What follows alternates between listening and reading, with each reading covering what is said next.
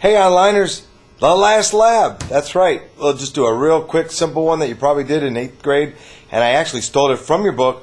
It's just a sample problem, Archimedes' principle. So let's uh, let me show you what I what I'm thinking.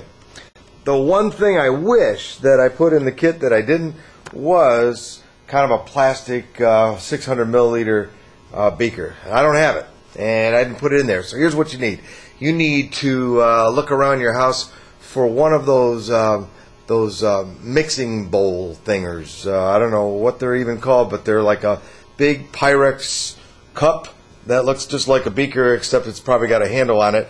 And on one side, it probably has cups, and on the other side, hopefully, you have milliliters. You need some way of figuring out the volume of this thing. If you can't find the volume of this thing, you know what you got to do? You have to estimate it by cylinder, weird little section here, another cylinder. So you'd have to use string, go all the way around, and figure out the volume by actually figuring out the shape. Subtract the uh, estimated piece right over here from the total cylinder, and then add the little bit of cone over here like this, and then add this much little cylindrical amount. Boy, would that be difficult.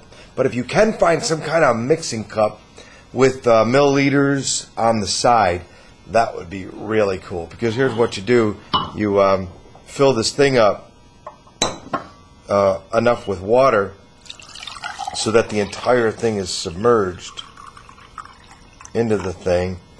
Um, for me, there's a couple ways you can do this.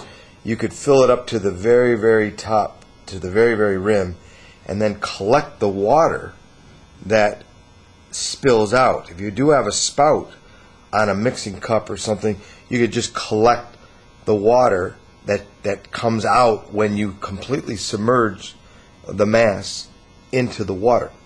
And then collect that water and then put it in another measuring device uh, or another uh, cup, smaller maybe, with milliliters on the side and figure out the volume of the water that spilled out. It's got to be right up to the rim where it's just like just basically almost dripping out and then collect the water that's coming out. That would be the volume of the irregular shape. That's the most clever way of doing it. Um, it sure is a lot easier than figuring out the volume of, uh, of this mass by just looking at its shape and trying to do the uh, volume of a cylinder minus the piece, volume of this minus that. That'd be, that'd be something. Okay? So give it a try with um, Archimedes' way, which would be displacement. Okay? Lab is really simple. Look at this. This thing you probably know what this is going to weigh on planet Earth, right? It's going to weigh, uh, what do you got? About 9.8 newtons. What a big surprise, 9.8 newtons uh, in normal air because the buoyancy force of air is so negligible because of the pressure of the air and the density of the air. It's nothing, okay? But you drop this in water, and while it is submerged in the water, it reads a smaller number. And that smaller number is interesting because there's another force acting on here. Besides tension and mg, now we have buoyancy force pulling up. So the tension's less because the buoyancy force is now present. And the difference in the reading would be the buoyancy force. And the buoyancy force is the weight of the fluid that was displaced.